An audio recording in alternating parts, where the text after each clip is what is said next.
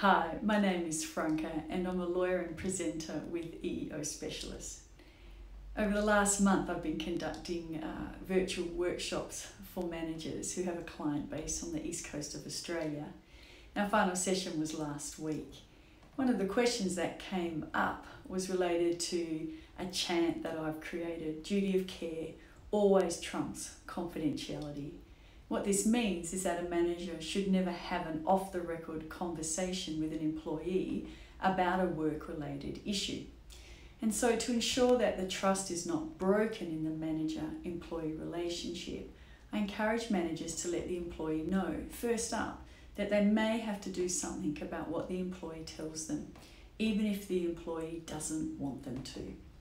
One of the managers in the workshop was concerned about this and he said, but it might shut down the person from saying anything um, and then nothing would be done about it. This is a real risk, but I think there are some things the manager could still do even if the employee chooses to keep quiet. So the manager could remind the employee that they must have chosen the manager for a reason. And part of that reason might be because they did actually want something done about it. The manager could also still give the employee their company's complaint management document and their EEO and anti bullying document and let the employee know the range of options available to him or her if they did want to tell the manager.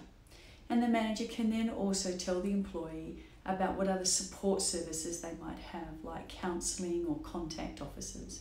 And finally, the manager could explain the legal protection around victimisation and how this is there to protect the employee from retribution if they do speak up.